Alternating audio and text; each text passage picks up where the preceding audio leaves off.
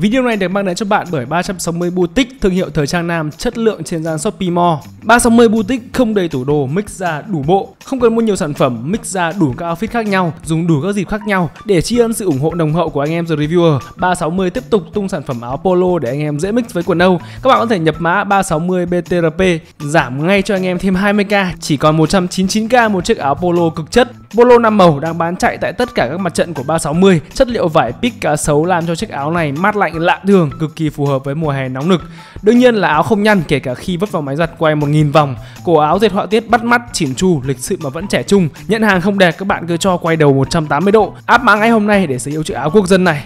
Không được thử dù chỉ một lần. Đây là câu tuyên truyền mà chắc hẳn ai trong số chúng ta đều thấy qua không chỉ một lần. Câu nói này được treo ở khắp nơi trong những khu vực đông dân cư nhằm mục đích tuyên chiến với vấn nạn ma tóe đang ảnh hưởng đến đời sống của người dân trong suốt một khoảng thời gian dài. Từ khi loại hình ăn chơi này được du nhập vào nước ta, ở Mỹ thì lịch sử và các bước chuyển biến của thứ bột trắng này đủ thú vị và hấp dẫn để Netflix quyết định xuống tiền thực hiện bộ phim tài liệu về nó. Và video recap phim tài liệu về loại hình ăn chơi không cần thiết này được mang đến cho bạn bởi content sang sung và tôi còn quại. Được chúng tôi tổng hợp và cóp nhặt từ nhiều nguồn thông tin. Nếu có gì sai hoặc cần đính chính, các bạn hãy để lại ở dưới phần bình luận nhé. Để chúng tôi có thể chỉnh sửa ở những video sau. Tựa đề của bộ phim tổng hợp thành ba chữ C lớn, tóm gọn những vấn đề mà Mỹ đang phải trải qua và tìm cách giải quyết khi thứ bột trắng này xuất hiện. Ba chữ C đó tạm dịch là chất cấm, tham nhũng và thuyết âm mưu. Vậy ba vấn đề đó diễn ra và được giải quyết như thế nào? Thông qua 8 chương của bộ phim, chiếu theo từng giai đoạn đi kèm với từng đời tổng thống của Mỹ, nhà làm phim muốn truyền tải những thông điệp chống ma tóe, ẩn sau hành trình giải quyết những vấn đề của những người Mỹ.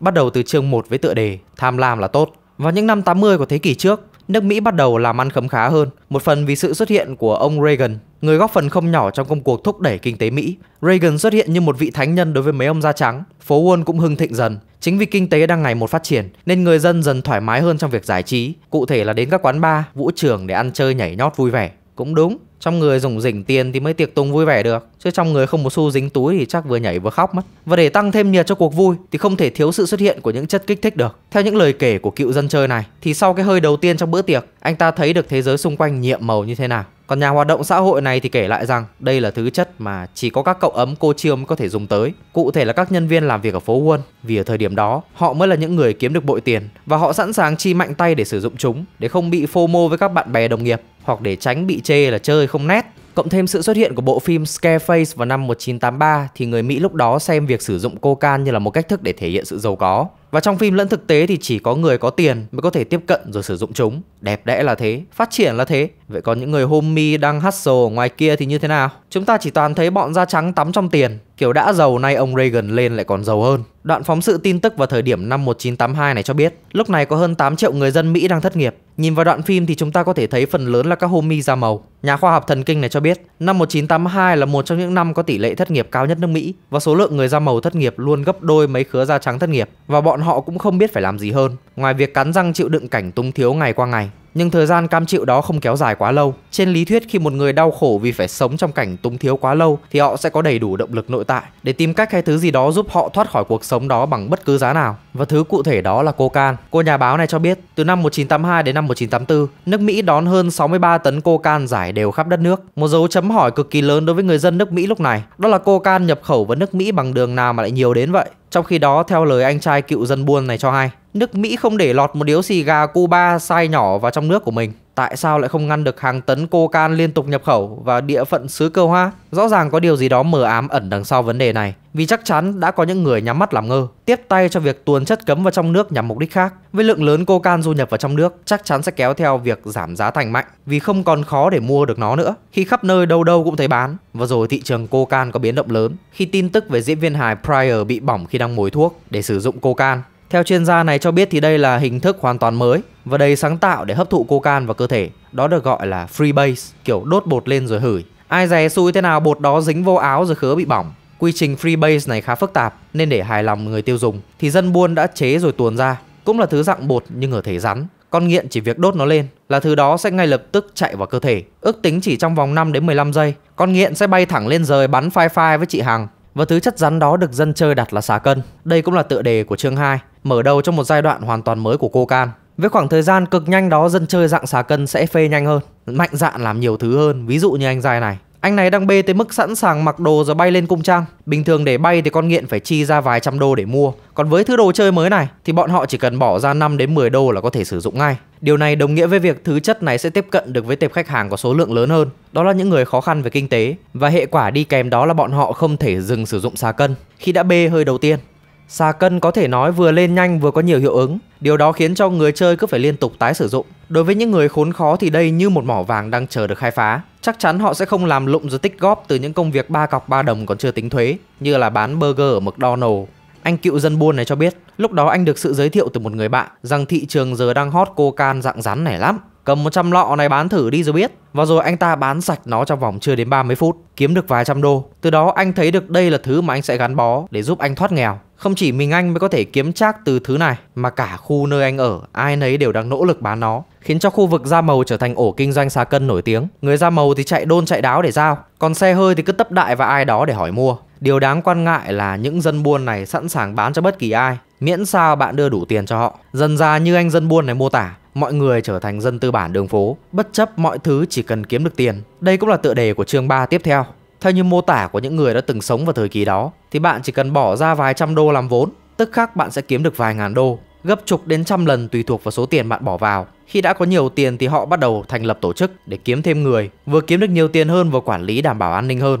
Những người kiếm được nhiều tiền này đa phần chỉ mới ở độ tuổi thanh thiếu niên, chỉ vì thấy nhà mình đang khổ và thiếu cái ăn cái mặc nên phải lao đầu vào cuộc chơi để kiếm chắc mong đổi đời. Và họ đã làm được điều đó để rồi trong xã hội lúc đó sinh ra hai nhóm người, một nhóm nghiện chất, một nhóm nghiện tiền. Tiếc thay, nhóm nghiện tiền mọc lên như nấm, dẫn đến việc xuất hiện những cuộc thanh trừng giành địa bàn làm ăn. Để bảo vệ bản thân thì nhóm thanh thiếu niên này phải trang bị những phụ kiện phòng thân mỗi khi ra đường, hoặc chuẩn bị đi giành lại địa bàn ở đâu đó. Có thể gọi đó là sinh tồn. Hậu quả của nó rõ ràng là đẫm máu. Cảnh sát và nhân viên cứu thương bắt đầu làm việc cật lực hơn khi phải giải quyết những dư chấn từ những cuộc mâu thuẫn. Vấn đề này liên tục xảy ra khắp nơi trên toàn nước Mỹ, cụ thể là những nơi trọng điểm của cô can và người da màu. Buồn cười thay là cảnh sát chỉ biết đứng ngoài nhìn, chứ không hề có động thái gì để ngăn chặn hoặc là giảm bớt nó. Không biết là do sợ hay phân biệt chủng tộc hay là đã bị mua nhỉ? Thế là đám tang liên tục diễn ra, chủ yếu là những thanh niên do bốc đồng hoặc do xui xẻo bị trúng đạn lạc nên hẻo.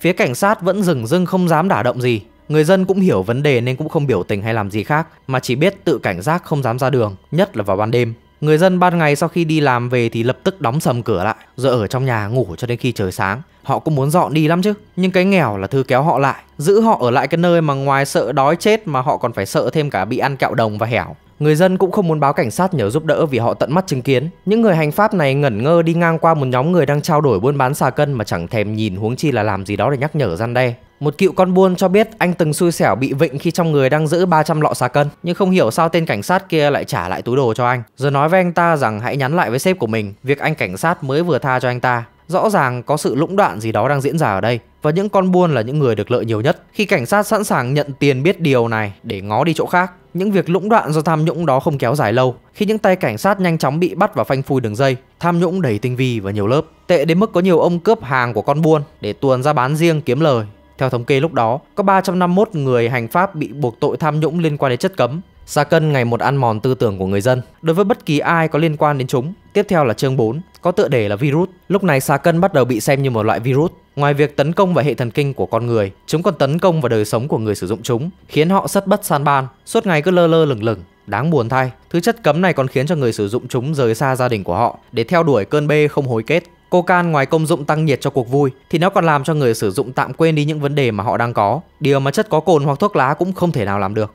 Nhưng trong nội dung video này chúng ta sẽ không bàn về chúng mà chúng ta sẽ tập trung bàn về cocan, cụ thể là xá cân. Về thứ chất gây nghiện hại người này, nhà hoạt động xã hội này cho biết khi bạn dính vào thứ thuốc này thì khó lòng mà ngưng ngang được, dẫn đến việc người sử dụng sẽ tìm mọi cách để tiếp tục bê, cướp bóc, đánh đập thuê để kiếm tiền. Đó là đối với nam giới. Còn phụ nữ thì tìm cách thỏa mãn người khác để kiếm tiền hoặc thỏa mãn chính người buôn để hòng lấy được chút đồ rồi sử dụng. Thậm chí có những người bán cả đồ chơi của con để mua chút hàng. Cô can như một con dao hai lưỡi, vừa cho cộng đồng homie ra màu kiếm tiền, vừa khiến cho cả cộng đồng gần như sụp đổ vì những gia đình tan nhà nát cửa. Bởi có người trong nhà không biết làm gì khác ngoài nghiện. Chính phủ đến giờ đã không thể làm ngơ được nữa, nên đã bắt đầu đưa ra những buổi meeting tuyên truyền với khẩu hiệu là tiêu đề của chương tiếp theo. Hãy nói không.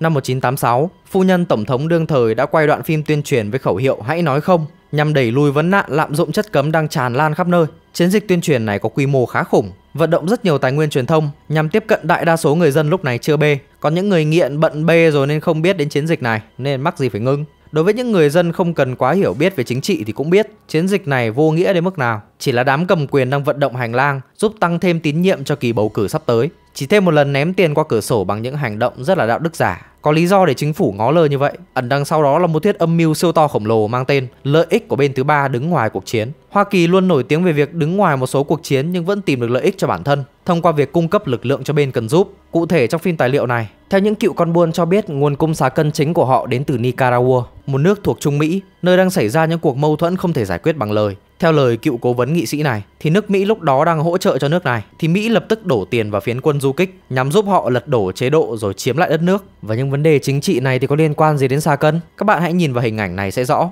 Quả là một mô hình buôn lậu ma tóe vô cùng hiệu quả. Khi vụ bê bối cực đại này được phanh phui, rất nhiều người có liên quan đã phải chịu tội. Nhưng vì lợi ích cực lớn mà nó đem lại, nên chính phủ có vẻ như đã nhắm mắt làm ngơ cho vấn nạn này hoành hành khắp nơi. Tựa đề của chương 6 mang tên Truyền thông điên loạn và chắc chắn đây sẽ là giai đoạn mà có những người chắc chắn không thể tiếp tục làm ngơ được nữa, cụ thể là sức mạnh truyền thông. Có một cầu thủ bóng rổ trẻ đầy triển vọng tên là Lambias Cậu trai trẻ này đang trên đà phát triển sự nghiệp đầy tiềm năng của mình. Đùng một phát, truyền thông đưa tin về sự ra đi đột ngột của cậu. Lý do được đưa ra là cậu bị sốc thuốc trong bữa tiệc chia vui cùng bạn bè. Giới truyền thông trong nước thấy được đây sẽ là ngòi nổ thích hợp để họ có thể nổ phát súng đầu tiên nhằm đẩy lùi nạn lạm dụng chất cấm trong giới trẻ. Họ dùng từ đại dịch để gắn vào xà cân, rồi liên tục phát tin này đi khắp nơi, nhất là những nơi đang là điểm nóng xà cân trong nước. May thay nó đã phát huy được chút tác dụng đối với cộng đồng da màu. Nó đi xa đến mức truyền thông còn tuyên truyền thêm về việc rất có khả năng những đứa bé vừa sinh ra đã bị bê vì mẹ của chúng đang lên mây trong những ngày gần sinh. Ngoài cụm từ đại dịch xà cân, truyền thông còn đưa thêm những tiêu đề như em bé xà cân, ngộ nghĩnh thai Chúng lại lan truyền cực kỳ nhanh chóng. Vì thế sau chiến dịch truyền thông này, rất nhiều người mẹ đã bị cáo buộc truyền chất vào cơ thể người con. Ngày càng có nhiều người quan tâm đến chủ đề này hơn. Đối với quan tòa và xã hội, những người nghiện nằm ở đáy xã hội nên họ không được nhận bất cứ sự giúp đỡ nào, thứ mà họ nên được nhận vào cái lúc họ cần. Đến nỗi từng có một cô y tá ở bệnh viện đại học y dược liên tục kiểm tra ma tóe từng thai phụ da màu của mình để tích trữ bằng chứng, rồi sau này khi họ sinh xong sẽ kiểm tra em bé rồi đệ đơn tố cáo họ, khiến họ mất đi quyền nuôi và ở bên cạnh đứa con mới sinh của mình. Một xã hội tàn nhẫn do truyền thông. Hễ bạn là thai phụ da màu thì chắc chắn bạn sẽ có khả năng cao bị tình nghi bê hàng rồi dễ bị mất con. Rõ ràng đây là cách để mấy khứa da trắng có thêm cớ để hình sự hóa người da màu. Hễ da màu là cướp bóc, hễ da màu là nghiện chất, hễ da màu là không đáng làm phụ huynh. Hài hước thật, các xã hội nước Mỹ thời điểm những năm 80 của thế kỷ trước.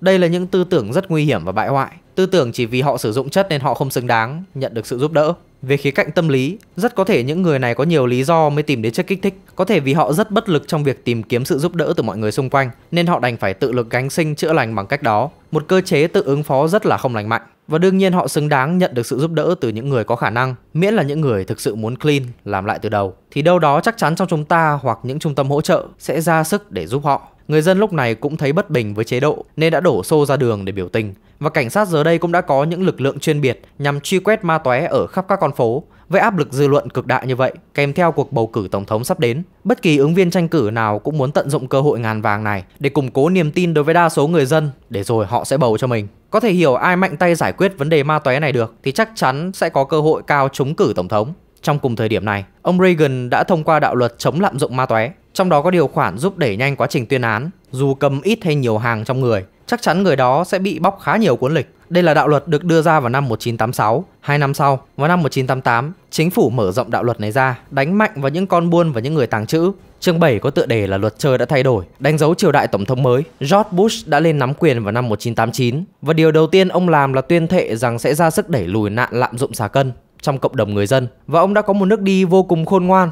Cấp trên điều lệnh cho một cớm chìm hẹn giao dịch xà cân ở công viên đối diện Nhà Trắng. Con buôn thì cũng chả quan tâm tòa nhà kia là gì, chỉ cần giao thôi. Thế là Bush đã có một bối cảnh cực kỳ thuận lợi để lên truyền hình chống lại ma tóe. Điều này đã giúp ông ghi điểm trong lòng người dân và các đảng chính trị. Còn cậu thanh niên trẻ xui xẻo giao hàng đó đã phải chịu án gần 10 năm ở nhà tù liên bang một con bài chính trị xui xẻo. Giới cảnh sát nhận tin giữ trong khoảng thời gian tiếp theo, họ phải tham gia đám tang của người đồng nghiệp xấu số do là nạn nhân của cuộc đấu súng với những băng đảng buôn ma tóe. Đây là cột mốc đánh dấu cuộc chiến giữa cảnh sát và giới con buôn ma tóe khắp nơi ở nước Mỹ. Giờ đây họ cứ thấy Homie da màu là tấp vào bắt ngay. Vì theo họ chắc chắn Homie da màu đang phạm pháp vì tội tàng trữ chất cấm. Đến nỗi họ ví dụ cảnh sát bắt được hai người, lục soát cơ thể một trong hai người có 10 lọ xà cân thì cảnh sát sẽ chia đôi ra nhét vào cho đều cả hai người để tóm gọn và đúng cả hai người. Cảnh sát không cần biết bạn là người nào, miễn sao bạn dính líu đến xà cân thì cảnh sát sẽ đối đãi bạn rất đặc biệt vì một đồng nghiệp của họ đang ngã xuống vì chất cấm này. Vào năm 1993, Bill Clinton lên nhậm chức, đánh dấu một kỷ nguyên còn cứng cỏi hơn khi chống lại ma tóe. Và đây cũng là tiền đề của chương cuối cùng của phim. Lúc này lực lượng cảnh sát chống ma tóe đã được đầu tư nhiều hơn, đầu tư đến nỗi họ có những chiến binh sẵn sàng ra trận. Có thể nói chính phủ đã quân đội hóa cảnh sát để họ có đủ khả năng khi tấn công vào những cứ điểm ma tóe nóng trong khu vực. Theo thống kê trong phim cho biết, ngân sách chống ma tóe của liên bang lúc đó đã lên đến 12 tỷ đô, 10 triệu đô la bỏ ra để mở rộng hệ thống nhà tù. Tuy nhiên, điều đáng chú ý là số lượng người bị bắt vì xà cân phần lớn là người da màu. Trong khi đó, người sử dụng xà cân còn có người da trắng và những người khác. Điều này dấy lên nhiều quan ngại trong người dân lẫn những người cầm quyền. Phải chăng yếu tố sắc tộc chiếm ưu thế trong việc kết án những người có liên quan đến Sa cân?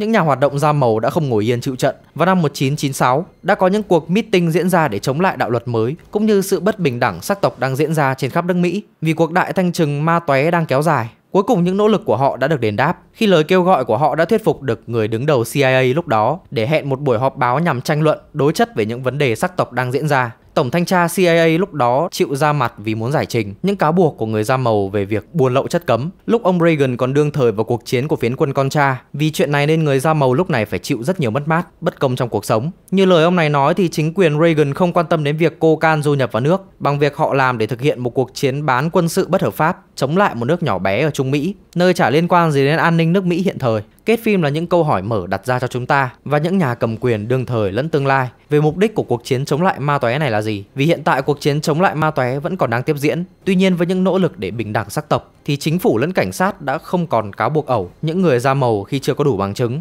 Những người được mời phỏng vấn trong phim tài liệu này bao gồm những người đã sử dụng trong thời điểm đó, những người đã từng là một trong những tay anh chị buôn chất cấm và những nhà báo lẫn những người đã từng sống ở khu vực trọng điểm trong thời kỳ hỗn loạn đó. Họ cho ta thấy được sự hối hận vì những gì mình đã làm. Mẹ bỏ quên con cái vì đang bận lên mây. Mẹ bán cả con của mình để được đê mê trong vài ngày. Con cái bán hàng cho cha mẹ của mình để kiếm sống. Có những tay anh chị kia thì thương tích đầy mình vì phải vật lộn để sinh tồn trong cái thị trường khắc nghiệt này. Kèm theo đó là án tích bóc vài cuốn lịch. Tất cả những hệ quả kể trên đều từ một lần thử đầu tiên mà ra. Chưa kể đến vô vàn những cách thức để đưa chất này vào người. Để rồi khi dùng chung đồ thì người sử dụng lại bị lây chung những bệnh truyền nhiễm khác, trong đó có HIV. Theo như tôi hiểu thì nhà nước muốn cảnh tỉnh người dân về tác hại của ma túy. Thông qua việc người sử dụng sau khi đê mê ma túy thì chắc chắn sẽ bị HIV AIDS. Bằng cách này hay cách khác thì các nhà chức trách chỉ muốn nhắc nhở người dân chúng ta nên tránh xa thứ chất này ra. Vì ở ngoài kia còn nhiều thú vui khác giúp chúng ta dễ dàng sản sinh những chất hóa học thần kinh gây thỏa mãn. Và chúng nên được sinh ra một cách tự nhiên, chứ không phải là một chất hóa học tổng hợp nào đó. Giúp chúng ta thấy được thần tiên để thỏa mãn hoặc mọc cánh rồi bay bạn có cảm nghĩ gì về bộ phim tài liệu này? Theo bạn thì những vấn nạn mà phim đề cập có liên quan đến thứ chất cấm này có thật sự chính sai không?